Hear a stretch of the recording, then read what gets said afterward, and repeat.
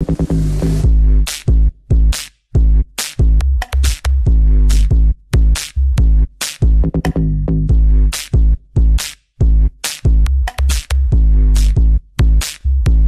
folks, uh, people were asking us how to build the steering wheel rig to hold the uh, digital SLR cameras. It's really good for follow shots, handheld shots. I'm here with Jonathan. One of the things with this is we had an idea and we went and made it and it worked pretty well but since then we've talked about ways we can make it better like putting an extra bar around the back that might help protect the camera in case it ever got dropped. I dropped it. And you know, I encourage you guys to do the same thing, figure out cool ways to make it better, whatever. Uh, so we start off, this is not my idea. This is something called a Manfrotto uh, Fig Rig, and Manfrotto makes it, and we just wanted to come with something a little bit smaller, um, just cheap that we could easily make. And it's good for skating. It also, when you have that that that uh, Steering wheel. you have that now, well, when you have that that body around it and you use two arms, it helps kind of stabilize it because it just creates this nice nice locked in position with you. Helps tone your forearms. And it helps tone your forearms. It's good too. Uh, pretty simple to put together. We have a socket and a little socket set and just a basic screwdriver. To start this off, we take these uh, three quarter inch conduit 90 degree elbows. And like I said, I just, this is all in the electrical stuff except for the screws. You might have to look in a different department. But you just take these and you stick them together and we're going to make a little little square ring out of it. So, so one thing you might want to do, I don't have any glue with me right now, but it's PVC, so if you just get PVC glue, glue all these uh, fittings together, that way it won't rotate once you're done and, and ready to go.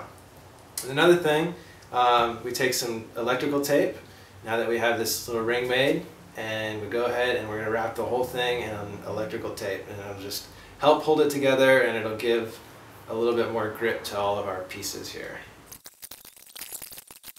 So technically with this green suit you can make me invisible, is that what you could do? Yes. Or you could put a different background on me, like you can make me like a jungle scene, like like leaves, like a, a person of leaves. Yeah. You just be a cutout in the video that's your shape.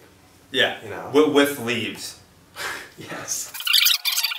Right, we're back. So we're back to it. So look at that. That's a fancy little ring. It's real easy to make. Super easy. And it's got like that nice grippy vinyl around it now so all of our stuff will stick and hold on a little bit better. Um, you take these little conduit dealios and stick them over there and over there.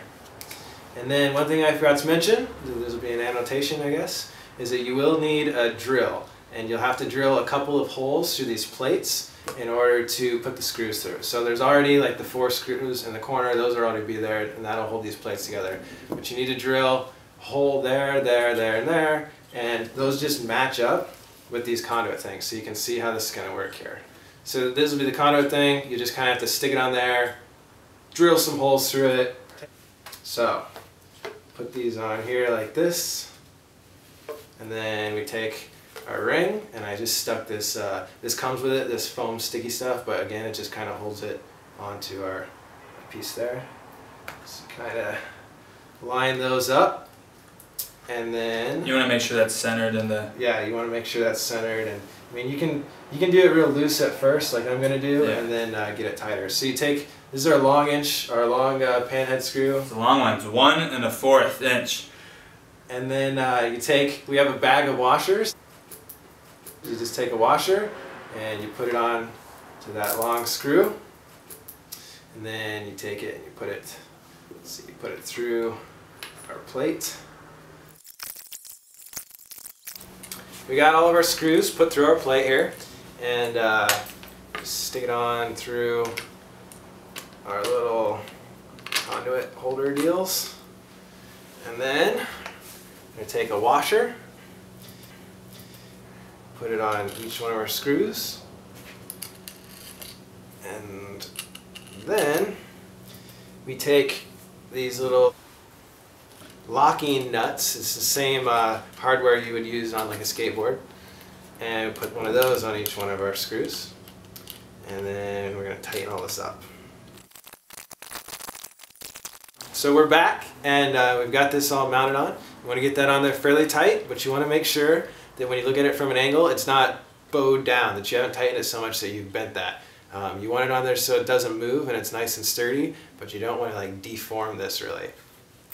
So then our next step is we're going to take this other piece, and this is going to be the top, and it comes with these four holes pre-drilled. So you'll take uh, a screw, and this is our, what size is this? These are 3 4 inch Panhead screws. pan heads. Put a washer on each one of them, get them going through that hole. And you're also going to want to drill a hole through the center of this piece. And that hole in the center is going to be for our one quarter inch. That is actually a 1 inch hex screw, 1 4 inch thread. Right, this goes into our Manfrotto quick release plate. So go ahead and get these screws all down. So now we're going to take our one quarter inch screw, put a washer on it, take that hole that we drilled, and from the back side, we're going to put that screw through our plate. The washer helps distribute the weight and pressure. Alright, this is our Manfrotto quick release plate. Um, these are going to be the most expensive part of this whole project. These are like 40 bucks and they come with a plate. Um, they're really nice. We have one of these on all of our tripods, so we have one plate on our camera that we never have to take off. You snap it into our little follow camera rig and you can snap it on a tripod. No time wasted, easy to do. Um, one thing about this is there's this little bump on the bottom, part of the quick release. So we can't just mount it flat onto our plate. We need to lift it up a little bit. So we have these four big inch and a half, I believe. Those right there, folks, are four inch and a half washers. And we take these and we stick them over the center there.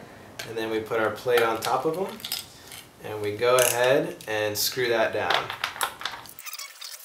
So we've got our quick release mounted on our plate now. Get that nice and tight on there so that's not going to move around. Then we come back to our, our rig here. Get this started up and start screwing that together. Oh, we've got those screwed in, our plates are together. Um, we're going to take a washer now and put it on threads of each one of these screws. The washers are there to distribute the weight and pressure. And then we take a nut and put one of these on each one. They don't have nylon threads. They're They, they could though. Again, this whole project is kind of just, I, I knew I wanted to make a fig rig or something similar and I just started buying stuff. These are probably longer than they need to be. Originally I had a bunch of washers spacing it out. It's a learning process so you know you guys can, can make it your own way. But you guys can make it better than ours. That's, you definitely can. I want you to make it better than ours, and I want you to send a picture in of your fig rig and say that's better than ours To Kyle. to Kyle. So we got those screwed down, and you try and move it around, make sure it's nice and solid. Um, this is pretty much it. This is really the basics of it. Uh, on ours, we did a few extra things, like I took a uh, steering wheel wrap. Adam suggests you use tennis racket wrap, um, and we just wrapped it around like that. Gives it a nice cushy hand hold, uh, just a little bit more to hang on to there. And we just tied that around it. Um, you The, the tennis wrap is probably a little cheaper, might be better. Experiment. You get like the the you know the sweaty tennis grip stuff that reduce the sweat. That stuff could be good. Yeah, so uh, this is pretty much it then. Adam will now demonstrate some techniques for using this rig. So what I do when I'm doing follow shots down the hill of someone, I hold it right at the top, the way the camera stabilizes it. Come down the hill my tuck, and I'll do this. The lower you get the camera to the ground, the more sense of speed you see, okay? So I'll be going like this. Now for behind shots, I'll be coming down like this, and I'll be filming like this. Looking back, looking back, looking back. Now, with the 7D, it's a little hard because all the videos can be shown right here. So when you're doing follow shots like this, it's a lot of fill, folks. You're not really going to be able to see what you're filming. But if you have a nice 10 to 20 millimeter wide angle lens on there, you'll be alright because 10 to 20 gives you a big range. Now, if you're going to do Stationary shots, like you're standing on the ground and you want to do a pan of your friend coming by. I'll stand on the ground. I'll have it in my hands right here. You can hold it up here, but I find it best right there. And you hold it, I know, uh, don't keep your elbows locked, keep them bent slightly, and then nice, nice deep breath. See your subject, follow them through, okay? Nice and easy. You can do cool stuff where you do like these, uh, let's say jib, jib movements where you can start on the ground real low, subject comes by, you can pick it right up nice and smooth. It's nice to do like a nice deep inhale, then exhale as you come up. Keep you nice and relaxed. For a low shot, you could potentially set us like a tripod in a way. You could rest it on the ground, prop it up against your foot a little bit, and rest it here for a nice little low shot. Because it's hard to get the you know tripods low to the ground. Um, so yeah, be creative with it. This is just an easy tool because if you're holding your 7D digital SLR like this, it's not as stable. So that's why we have this, folks. And to tell you the truth, like doing follow cams on your skateboard, holding this like this, very sketchy. This is a good solution.